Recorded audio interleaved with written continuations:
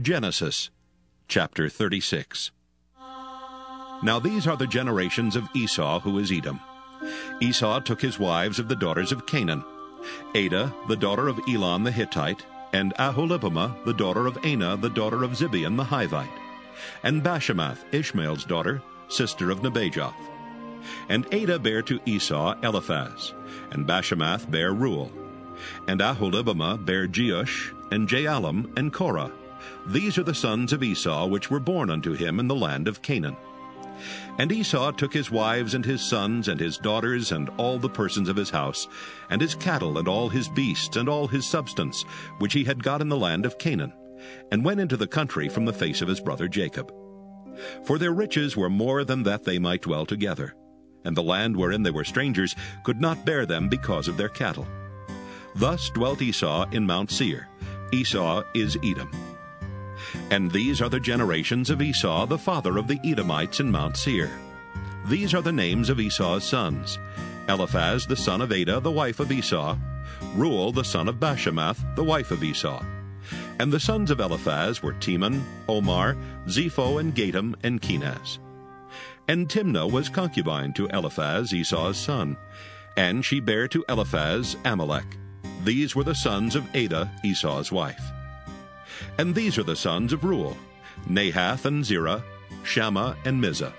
These were the sons of Bashemath, Esau's wife. And these were the sons of Aholibamah, the daughter of Anah, the daughter of Zibeon, Esau's wife. And she bare to Esau Jeush, and Jaalam, and Korah. These were dukes of the sons of Esau. The sons of Eliphaz, the firstborn son of Esau, Duke Teman, Duke Omar, Duke Zepho, Duke Kenaz, Duke Korah, Duke Gatam, and Duke Amalek. These are the dukes that came of Eliphaz in the land of Edom. These were the sons of Adah. And these are the sons of Reuel, Esau's son, Duke Nahath, Duke Zerah, Duke Shammah, Duke Mizzah. These are the dukes that came of Reuel in the land of Edom. These are the sons of Bashemath, Esau's wife. And these are the sons of Aholibamah, Esau's wife, Duke Jeush, Duke Jaalam, Duke Korah. These were the dukes that came of Aholibamah, the daughter of Anah, Esau's wife. These are the sons of Esau, who is Edom, and these are their dukes. These are the sons of Seir the Horite, who inhabited the land, Lotan and Shobal, and Zibeon and Anah, and Dishon and Ezer and Dishan. These are the dukes of the Horites, the children of Seir in the land of Edom. And the children of Lotan were Hori and Hemam, and Lotan's sister was Timnah. And the children of Shobal were these, Alvan and Manahath, and Ebal, and Shepho, and Onam. And these are the children of Zibeon, both Ajah and Anah. This was that Anah that found the mules in the wilderness, as he fed the asses of Zibeon his father. And the children of Anah were these, Dishon and Aholibamah the daughter of Anah. And these are the children of Dishon, Hemdan, and Eshban, and Ithran, and Cheran. The children of Ezer are these, Bilhan, and Zaavan, and Akan. The children of Dishan are these, Uz, and Aran. These are the dukes that came of the Horites, Duke Lotan, Duke Shobal, Duke Zibeon, Duke Anah.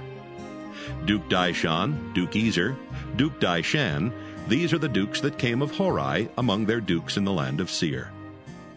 And these are the kings that reigned in the land of Edom before there reigned any king over the children of Israel. And Bela, the son of Beor, reigned in Edom, and the name of his city was Dinhabah. And Bela died, and Jobab, the son of Zerah of Bozrah reigned in his stead. And Jobab died, and Husham of the land of Temani reigned in his stead. And Husham died, and Hadad the son of Bedad, who smote Midian in the field of Moab, reigned in his stead. And the name of his city was Avith. And Hadad died, and Samlah of Masrekah reigned in his stead. And Samlah died, and Saul of Rehoboth by the river reigned in his stead. And Saul died, and Baal-Hanan the son of Achbor reigned in his stead. And Baal-Hanan the son of Achbor died, and Hadar reigned in his stead and the name of his city was Pau. And his wife's name was Mehetabel, the daughter of Matred, the daughter of Mezahab. And these are the names of the dukes that came of Esau according to their families, after their places by their names Duke Timnah, Duke Alvah, Duke Jetheth, Duke Aholibamah, Duke Elah, Duke Pinon, Duke Kenaz, Duke Teman, Duke Mibzar, Duke Magdiel, Duke Iram. These be the dukes of Edom according to their habitations in the land of their possession. He is Esau, the father of the Edomites. Genesis chapter 37 And Jacob dwelt in the land wherein his father was a stranger in the land of Canaan. These are the generations of Jacob. Joseph, being seventeen years old, was feeding the flock with his brethren, and the lad was with the sons of Bilhah and with the sons of Zilpah his father's wives. And Joseph brought unto his father their evil report. Now Israel loved Joseph more than all his children, because he was the son of his old age, and he made him a coat of many colors. And when his brethren saw that their father loved him more than all his brethren, they hated him, and could not speak peaceably unto him. And Joseph dreamed a dream, and he told it his brethren, and they hated him yet the more. And he said unto them, Hear, I pray you, this dream which I have dreamed. For behold, we were binding sheaves in the field, and lo, my sheaf arose and also stood upright. And behold, your sheaves stood round about and made obeisance to my sheaf. And his brethren said to him, Shalt thou indeed reign over us, or shalt thou indeed have dominion over us? And they hated him yet the more for his dreams and for his words. And he dreamed yet another dream, and told it his brethren, and said, Behold, I have dreamed a dream more. And behold, the sun and the moon and the eleven stars made obeisance to me. And he told it to his father and to his brethren. And his father rebuked him, and said unto him, what is this dream that thou hast dreamed? Shall I and thy mother and thy brethren indeed come to bow down ourselves to thee to the earth? And his brethren envied him, but his father observed the saying. And his brethren went to feed their father's flock in Shechem. And Israel said unto Joseph, Do not thy brethren feed the flock in Shechem? Come, and I will send thee unto them. And he said to him, here am I. And he said to him, Go, I pray thee, see whether it be well with thy brethren and well with the flocks, and bring me word again. So he sent him out of the vale of Hebron, and he came to Shechem. And a certain man found him, and behold, he was wandering in the field. And the man asked him, saying, What seekest thou? And he said, I seek my brethren. Tell me, I pray thee, where they feed their flocks. And the man said, They are departed hence, for I heard them say, Let us go to Dothan. And Joseph went after his brethren, and found them in Dothan. And when they saw him afar off, even before he came near unto them, they conspired against him to slay him. And they said one to another, Behold, this dreamer cometh. Come now, therefore, and let us slay him, and cast him into some pit. And we will say, some evil beast hath devoured him. and we shall see what will become of his dreams. And Reuben heard it, and he delivered him out of their hands, and said, Let us not kill him. And Reuben said unto them, Shed no blood, but cast him into this pit that is in the wilderness, and lay no hand upon him. That he might rid him out of their hands to deliver him to his father again. And it came to pass, when Joseph was come unto his brethren, that they stripped Joseph out of his coat, his coat of many colors that was on him. And they took him and cast him into a pit, and the pit was empty, there was no water in it. And they sat down to eat bread. And they lifted up their eyes and looked, and behold, a company of Ishmaelites came from Gilead with their camels, bearing spicery and balm and myrrh, going to carry it down to Egypt. And Judah said unto his brethren, profit is it if we slay our brother and conceal his blood? Come, and let us sell him to the Ishmaelites, and let not our hand be upon him, for he is our brother and our flesh. And his brethren were content. Then there passed by Midianites merchantmen, and they drew and lifted up Joseph out of the pit, and sold Joseph to the Ishmaelites for twenty pieces of silver, and they brought Joseph into Egypt. And Reuben returned unto the pit, and behold, Joseph was not in the pit, and he rent his clothes. And he returned unto his brethren, and said, The child is not, and I, whither shall I go? And they took Joseph's coat, and killed a kid of the goats, and dipped the coat in the blood. And they sent the coat of many colors, and they brought it to their father, and said, This have we found. Know now whether it be thy son's coat or no. And he knew it, and said, It is my son's coat. An evil beast hath devoured him. Joseph is without doubt rent in pieces. And Jacob rent his clothes, and put sackcloth upon his loins, and mourned for his son many days.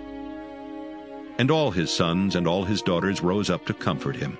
But he refused to be comforted, and he said, will go down into the grave unto my son mourning. Thus his father wept for him. And the Midianites sold him into Egypt unto Potiphar, an officer of Pharaoh's and captain of the guard. Genesis chapter 38 And it came to pass at that time that Judah went down from his brethren and turned in to a certain Adullamite, whose name was Hirah. And Judah saw there a daughter of a certain Canaanite, whose name was Shuah, and he took her and went in unto her.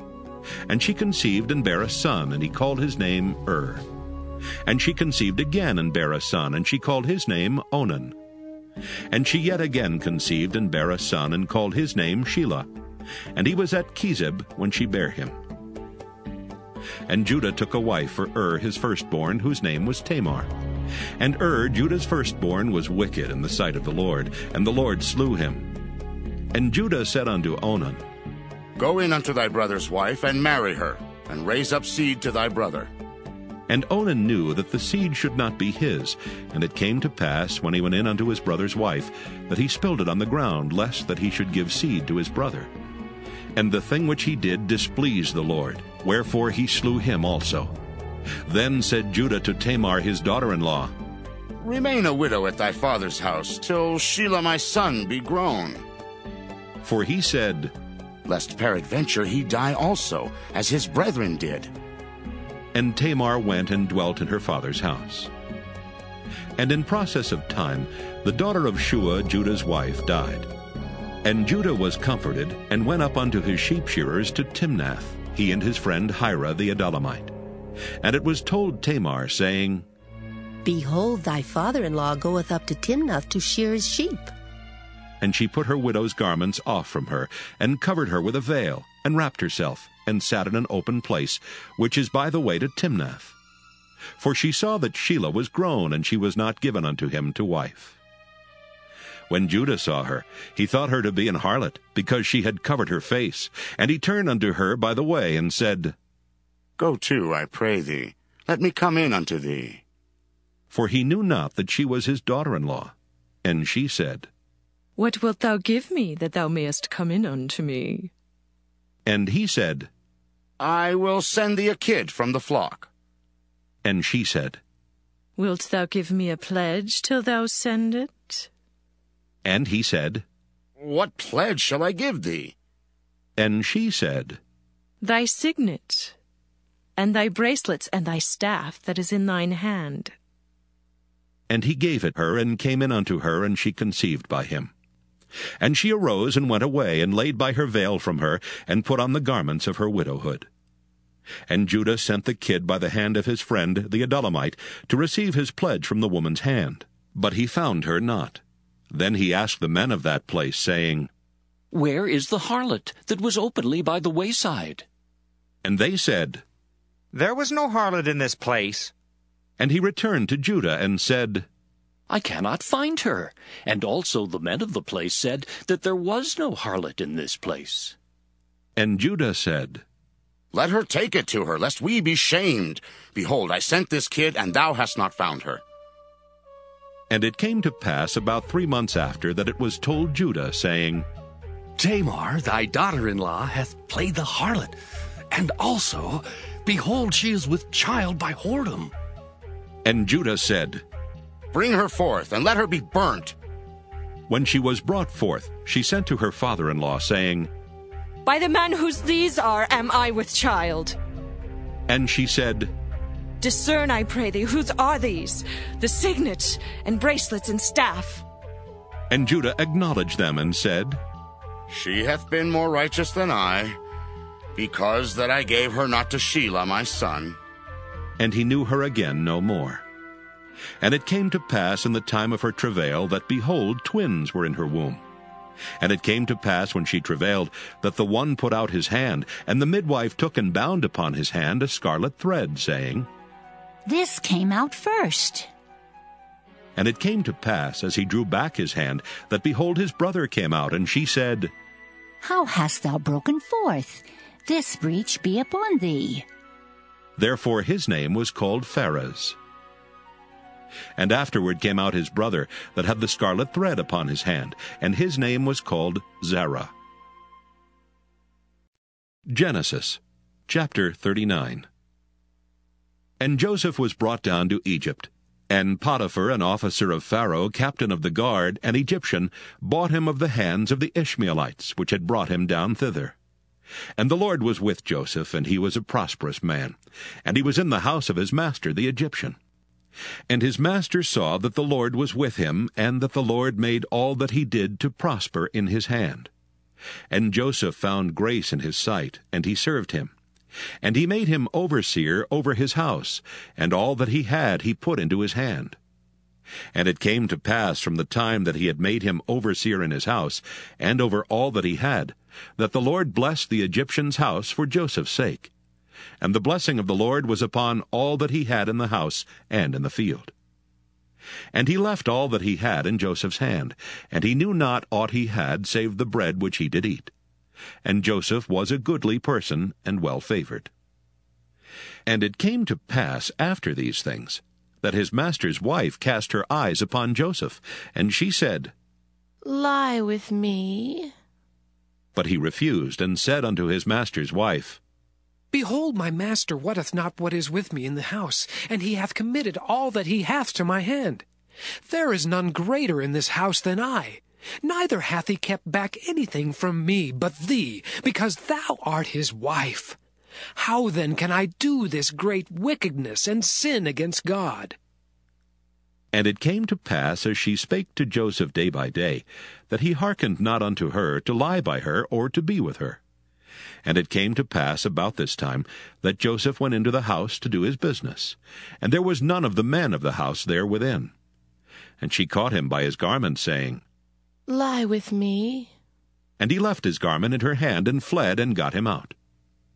And it came to pass, when she saw that he had left his garment in her hand, and was fled forth, that she called unto the men of her house, and spake unto them, saying, See, he hath brought in an Hebrew unto us to mock us.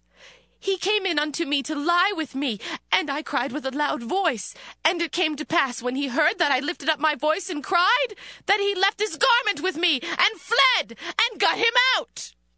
And she laid up his garment by her until his lord came home. And she spake unto him according to these words, saying, The Hebrew servant which thou hast brought unto us came in unto me to mock me. And it came to pass, as I lifted up my voice and cried, that he left his garment with me and fled out. And it came to pass, when his master heard the words of his wife, which she spake unto him, saying, After this manner did thy servant to me. That his wrath was kindled. And Joseph's master took him and put him into the prison, a place where the king's prisoners were bound, and he was there in the prison. But the Lord was with Joseph, and showed him mercy, and gave him favor in the sight of the keeper of the prison. And the keeper of the prison committed to Joseph's hand all the prisoners that were in the prison, and whatsoever they did there, he was the doer of it. The keeper of the prison looked not to anything that was under his hand, because the Lord was with him, and that which he did, the Lord made it to prosper. Genesis chapter 40 And it came to pass after these things that the butler of the king of Egypt and his baker had offended their lord the king of Egypt. And Pharaoh was wroth against two of his officers, against the chief of the butlers, and against the chief of the bakers. And he put them in ward in the house of the captain of the guard into the prison, the place where Joseph was bound. And the captain of the guard charged Joseph with them, and he served them, and they continued a season in ward. And they dreamed a dream, both of them, each man his dream in one night, each man according to the interpretation of his dream, the butler and the baker of the king of Egypt, which were bound in the prison. And Joseph came in unto them in the morning, and looked upon them, and behold, they were sad. And he asked Pharaoh's officers that were with him in the ward of his lord's house, saying, Wherefore look ye so sadly today? And they said unto him, We have dreamed a dream, and there is no interpreter of it.